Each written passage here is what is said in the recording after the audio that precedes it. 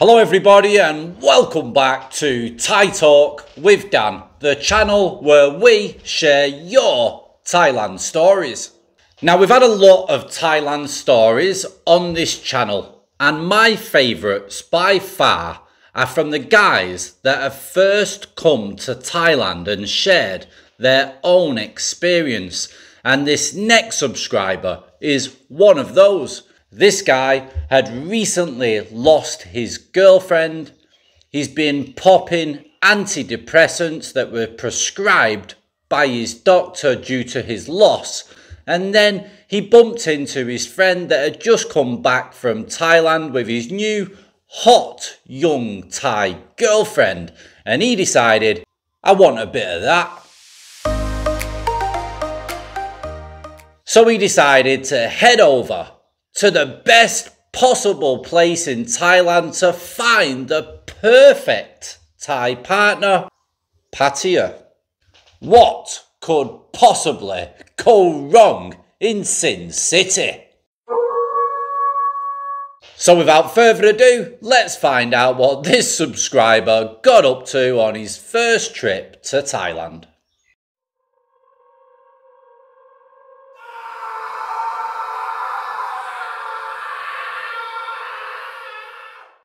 Hi Dan. I was in a local public house in the UK with my old friend Tom. He had just come back from Pattaya, Thailand, and come home with this very beautiful young lady. Tom told me it was good in Thailand, and I was feeling a little low as my lady had passed away and my doctor had given me some antidepressants.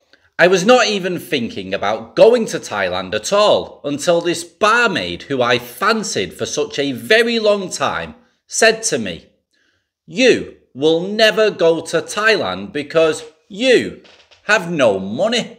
Uh, two hours later. I was really hurting inside and felt very lonely without my girlfriend. So, with that being said, I told Tom, Can you book me a holiday tomorrow, please?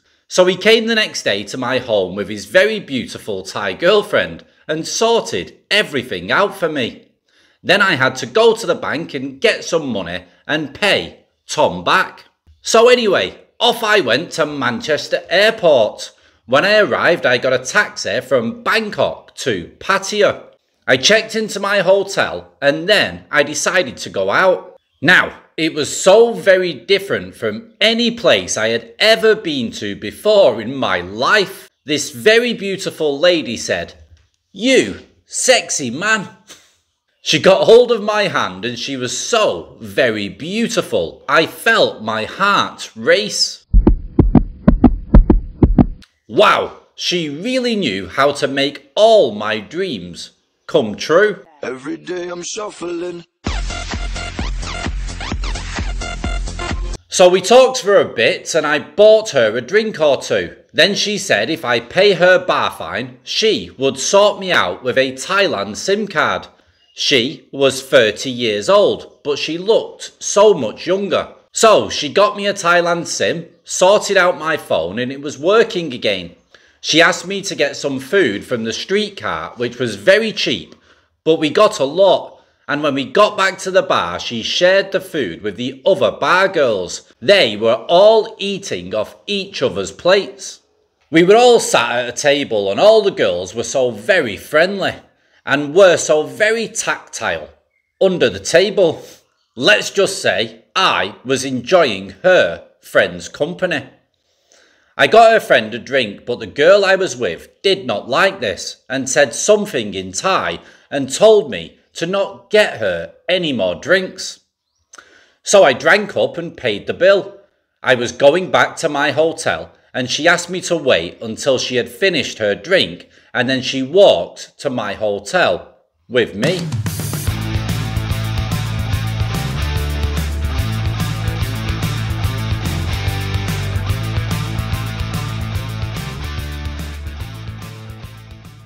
She gave the hotel her driving license then we walked up the stairs.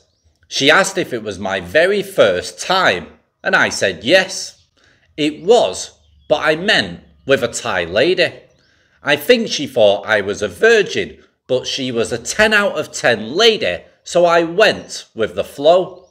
She showered very fast and then she wanted to shower with me too.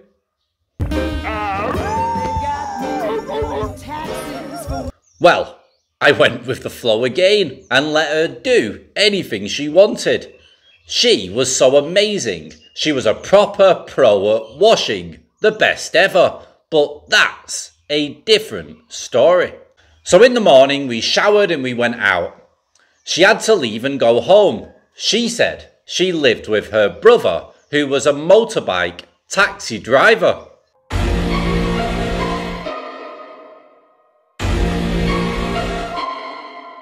I thought that was a little bit strange, but still, I could have some free time to see the beach and different bars. I also chatted to the hotel receptionist at the hotel, and he told me that the girl I was with was only 22 and not 30 years old. He showed me her paper copy of her driving license, so I went to her bar and she was not there, but her friend was, who was so very friendly and wanted to hold my hand under the table.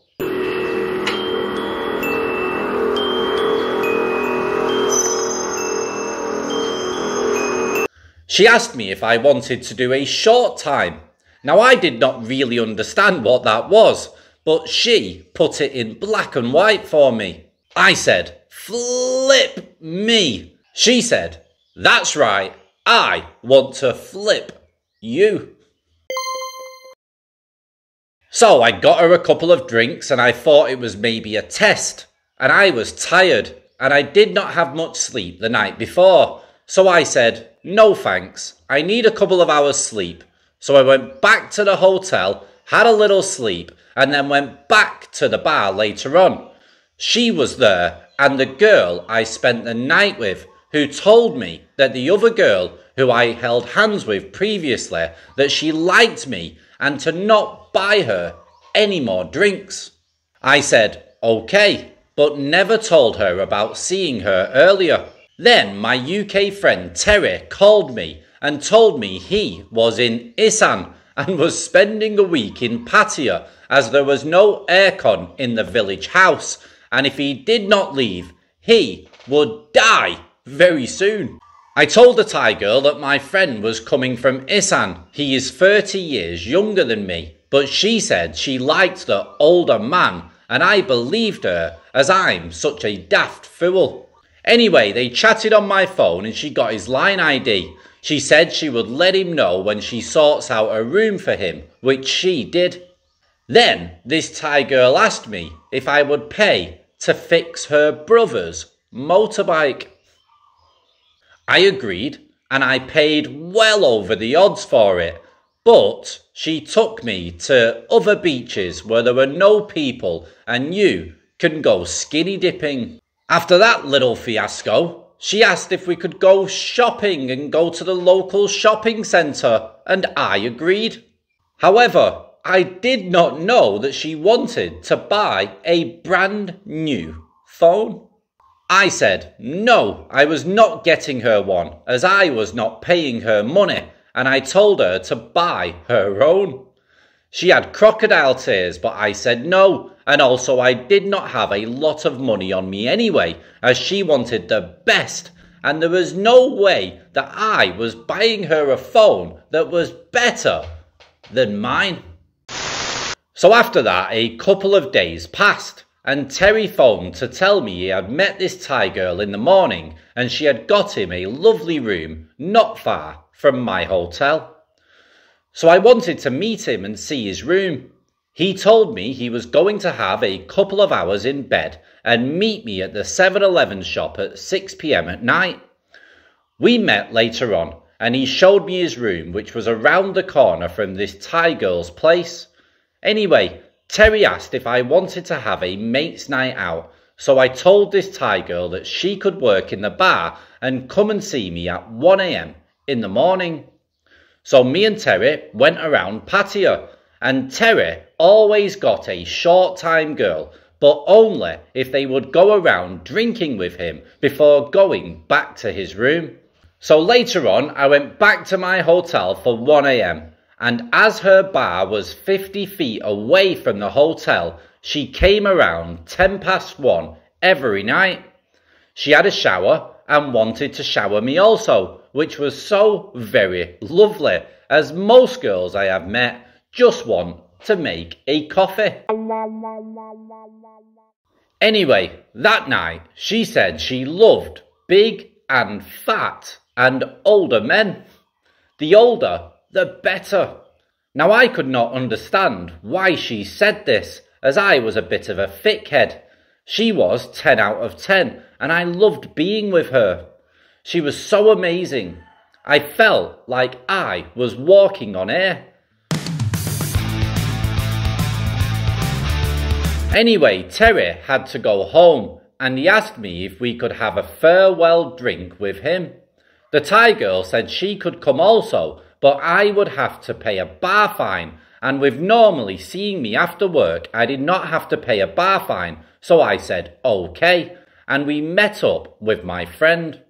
Now he had been drinking all day, as he did not like flying. Now my Thai girl got him two roses, and Terry said thank you, and then he asked if we could share my Thai girl before he went back home on the plane. Now I did not want to, but he had his suitcase in my room as he had to be out for 11am. The Thai girl said no, but paid for all his drinks. I was really peed off as I was getting her drinks and she was paying for Terry's and he asked to share my Thai girl. My head was in a total spin. Then Terry said he needed to tell me something later on. Anyway, Terry got his case and his taxi, and then two hours later he phoned me and told me that he had met my Thai girl at the 7 Eleven and she had taken him to his room and stayed with him. Now I knew then why this Thai girl was getting him drinks. Then Terry told me that her brother was actually her husband. When he told me this, I really hated myself inside. I really was believing that she liked fat old men, but not really. They are just easier to use and fool. So I washed my face a couple of times and came out of the toilet. Then she kissed me and asked me to ring the bell. I said, no way. I am not, but you can ring the bell and pay for everyone yourself. Then I said that I am going to your bar and she said, I am stopping here.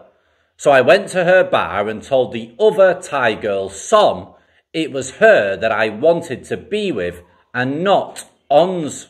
She said, if I wanted her, I could, but she does not want any trouble at my hotel. She said there was a hotel on Second Road and that we could go there. So, off we went. And she used her ID card and we stopped the night. She was even better than Ons. She gave me an oil massage and I felt like a king and then showered and kissed me all over. Now, I felt so much better with spending some quality time with Som. And then my phone rang. I answered it and it was Ons. She said she was stopping at my hotel waiting for me. I smiled and said nothing and turned my phone off. But then the next day, back at my hotel, I got told a lady stopped the night waiting for me. So I asked the receptionist to change my room, and he said that he would say that I had found a cockroach in it, so changed my room and got it sprayed. The next day, he said that if Ons called, he would show her that I had moved and there was two doors to the hotel, and I only had one week left to go. But it felt like I was hiding, so I decided to head off to the bar. As soon as I arrived, Ons was sat there wearing sunglasses.